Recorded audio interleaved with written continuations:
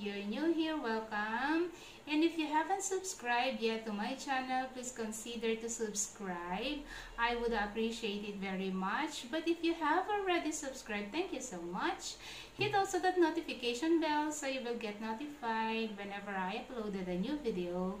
And if you like this video, please give it also a thumbs up. So today's video is another body mist from Victoria's Secrets. So I have two of them. Ito yung Melon Sorbet and Santorini Neroli Water. So simulan natin sa Melon Sorbet. Ito yung kanyang bote. So kung titignan mo, meron na siyang uh, picture dito ng watermelon. Ang ganda ng kanyang bote. Light pink.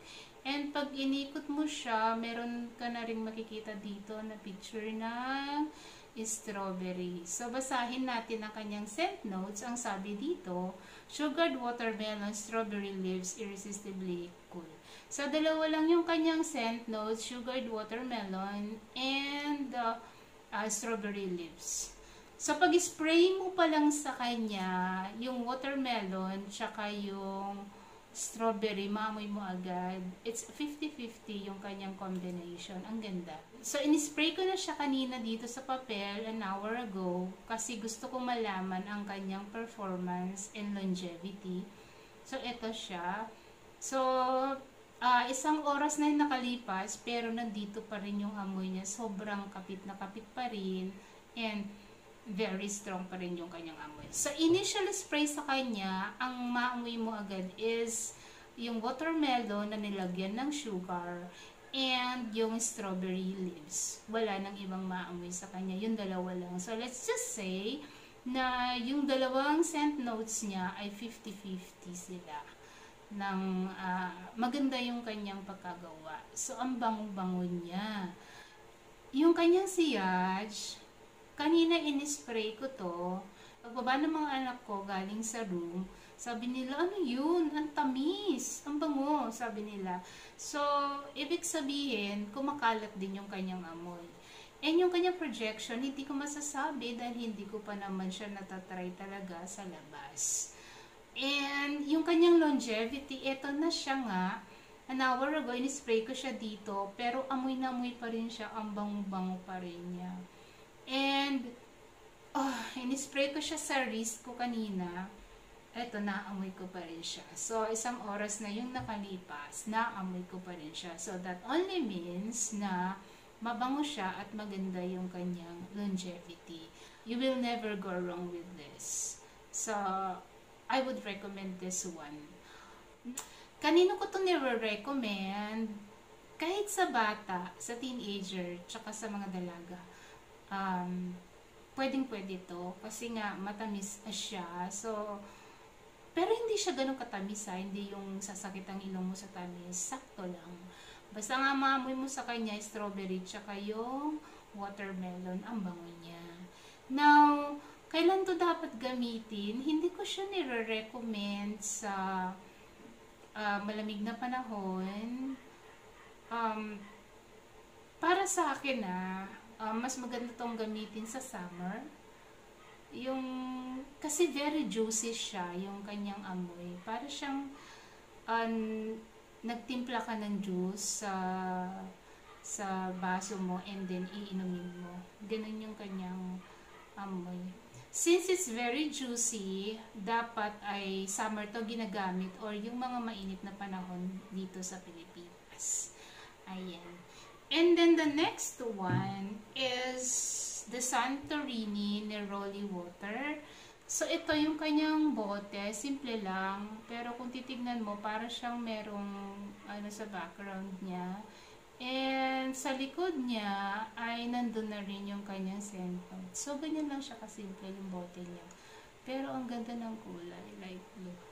Anyway, so basahin natin yung kanyang scent notes. Ang sabi dito, Neroli Water, Butterfly Lily, Cobalt Santorini Sis.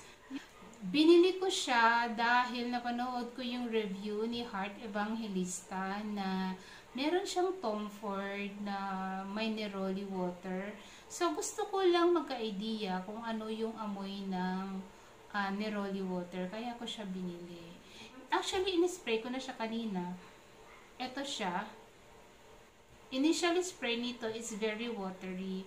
So, yung uh, butterfly lily, hindi ko alam yon And yung neroli water, hindi ko rin alam kung ano yun.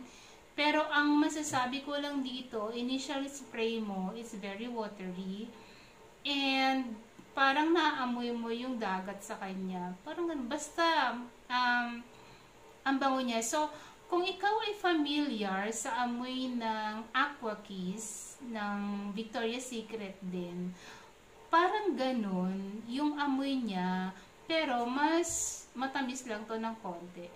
So, di ba yung Aqua Kiss is watery din siya. Parang pag-spray mo sa kanya, very refreshing siya, uh, very cooling siya. And the same thing with this. Medyo mas matamis lang to ng konti compared doon. Kasi parang yun ay medyo may uh, medyo musky ng konti. Ito medyo matamis ng konti. Pero pareha sila ng fresh water ang dating ng kanyang scent and very uh, cool siya ang dating niya.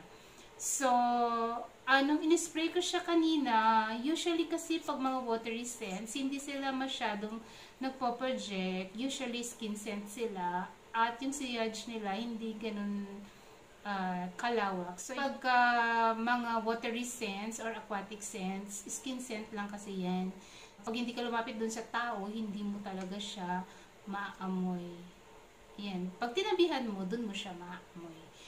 Ayun. And yung longevity niya, ito pa rin siya, oh. Ang bango niya. Ang bango-bango niya.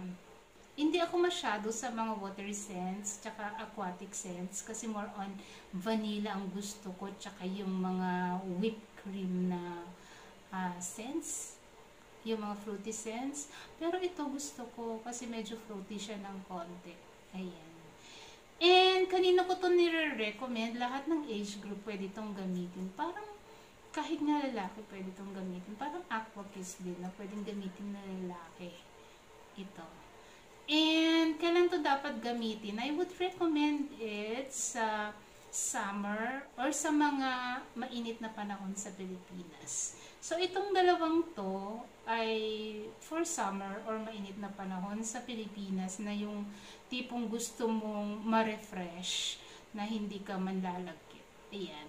So, yun po yung thoughts ko tungkol dito sa dalawang pabango na to. Abangan nyo yung susunod kong video.